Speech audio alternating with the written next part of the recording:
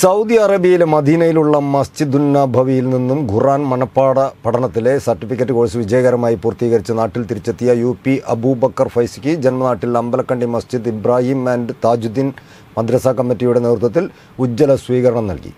മദ്രസ ഓഡിറ്റോറിയത്തിൽ നടന്ന പരിപാടി മുൻ എം എൽ എയും മുസ്ലിം ലീഗ് സംസ്ഥാന സെക്രട്ടേറിയറ്റ് അംഗവുമായ വി എം ഉമർ മാസ്റ്റർ ഉദ്ഘാടനം ചെയ്തു. ഉപഹാരം കൈമാറി. പ്രസിഡന്റ് നെച്ചോളി മുഹമ്മദ് ആജി അധ്യക്ഷനായി.